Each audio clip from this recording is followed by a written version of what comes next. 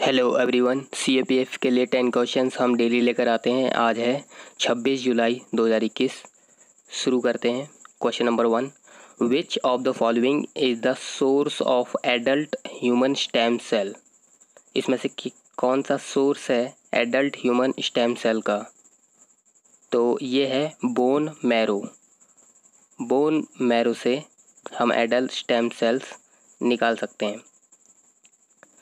Adult stem cells have been used in treating several conditions including liver cirrhosis, chronic limb ischemia and end stage heart failure. तो कई सारी disease treat की जा सकती हैं adult stem cell से bone marrow is a rich source of adult stem cells.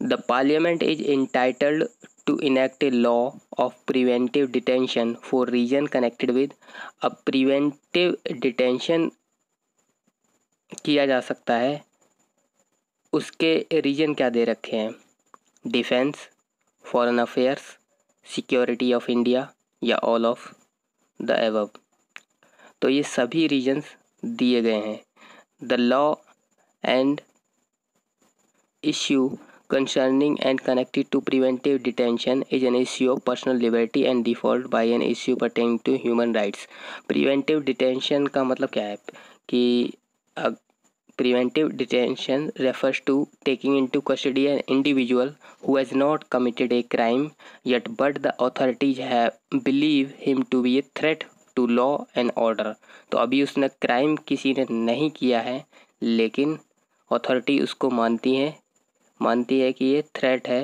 Law and order को बिगाड़ सकता है क्राइम कर सकता है। Which city has become the first Indian city to offer one G B P S wired broadband internet service तो इस तरह की सर्विस फ़र्स्ट इंडियन सिटी कौन सी है, जो दे रही है? दिल्ली, हैदराबाद, चेन्नई या बेंगलुरु?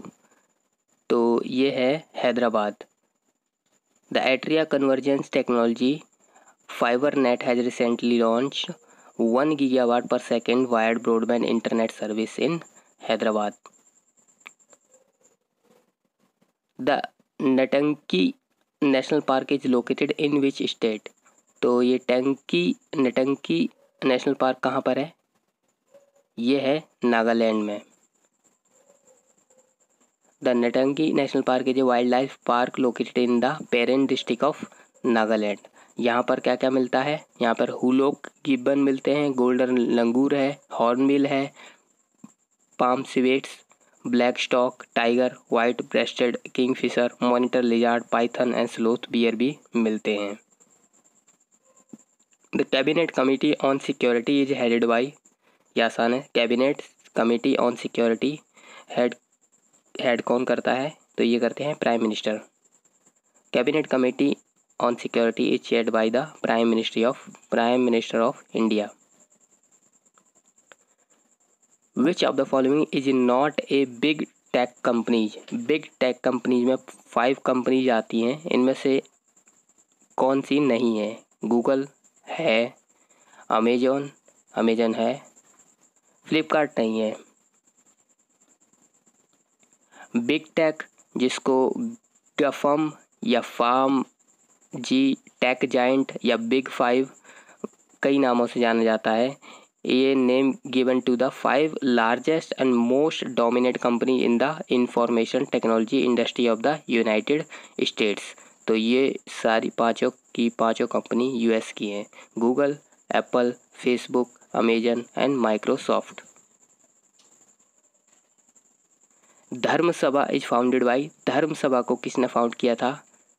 धर्म सभा को फाउंड किया था राधाकांत देव ने। Dharma Sabha was formed in 1829 in Calcutta by Radhakant Dev. अठारह में कलकत्ता में राधाकांत देव के द्वारा ये फाउंड किया गया था धर्म सभा को। इस ऑर्गेनाइजेशन का मकसद जो भी राजा राम मोहन रॉय ने किया या हेनरी देरोजिया ने किया, उसका उल्टा था। ये सारे धर्मों के जो रिवाज थे, उसको बरकरार बनाए रखना। कुछ भी चेंजेस ना होने देना। तो जो भी सोशल रिफॉर्म मूवमेंट किए राजा राम मोहन रॉय को, उनको, उनके अगेंस्ट काउंटर करना। Who of the following is not associated with non aligned movement तो इनमें से कौन नॉन अलाइन मूवमेंट से एसोसिएट नहीं करता है। Jawaharlal Nehru, Gamal Nasser Sukarno Nelson Mandela. Nelson Mandela का नाम से कोई लेना देना नहीं है। The non align movement was founded and held its first conference in Belgrade conference जिसको कहते हैं उन्नीस सौ इकसठ में और लीडर यहाँ पे थे पाँच। एक थे जोसेफ ब्रोज, टीटो, यूगोस्लाविया से, गमल अब्देल नसीर, इजिप्ट के, जवाहरलाल नेहरू इंडिया के और क्वामे नुक्रुम घाना के सुकारनो थे इंडियन, इंडोनेशिया के। Sidhu and Kanhu were associated with Sidhu और कानू ये किससे एसोसिएट करते थे? Santhal uprising Munda revolt Sannyasi revolt या अहम रिवोल्ट। सिद्धू और कानू ने किया था संथाल का revolt. On thirty June 1855 two Santhal rebel leader Sidhu and Kanhu Murmu mobilized roughly 60,000 Santhals and degrade rebellion against the East India company साठ हज़ार से ज़्यादा संथाल को इन्होंने इकट्ठा किया और बगावत कर दी ईस्ट इंडिया कंपनी के खिलाफ। Last question who was the first attorney general of India first attorney general of India कौन थे? के के वेणुगोपाल ये तो अभी के अटॉर्नी जनरल हैं। M C Setalvad yes M C Setalvad ही फ़र्स्ट अटॉर्नी जनरल थे इंडिया के। मोतीलाल सेतलवद या M C Setalvad was the eminent Indian jurist who became the first and longest serving attorney general of India ये 1950 से उन्नीस तक attorney general रहे, जो कि longest serving attorney general of India कहे जाएँगे। तो अगर पूछ क्वेश्चन पूछा जाता है कि लॉन्गेस्ट सर्विंग अटॉर्नी जनरल कौन थे इंडिया के तो यही थे। हमारे सी के क्वेश्चंस की सीरीज़ में 600 से ज़्यादा क्वेश्चंस आप लगा सकते हैं। अगर आप पाँच से छः घंटे निकालें एग्ज़ाम के चार पाँच दिन पहले तो यह आपको काफ़ी बेनिफिट करेगा। That is all for today thank you